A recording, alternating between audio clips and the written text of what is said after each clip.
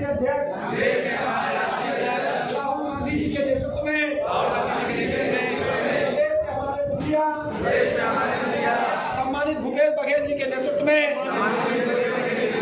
छत्तीसगढ़ की ग्यारह सीट। में मेहनत करके कांग्रेस के प्रत्याशियों को चुनाव जिताने में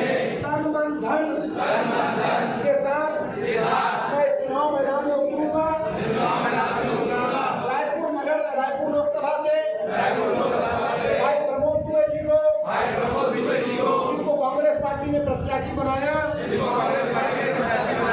भाई समझकर परिवार का सदस्य समझकर निस्वार्थ मेहनत करके। लोकसभा चुनाव में। चुनाव जिताकर दिल्ली के संसद में भेजना है। मैं संकल्पित हूँ। जो हमारे राष्ट्रीय अध्यक्ष राहुल गांधी जी ने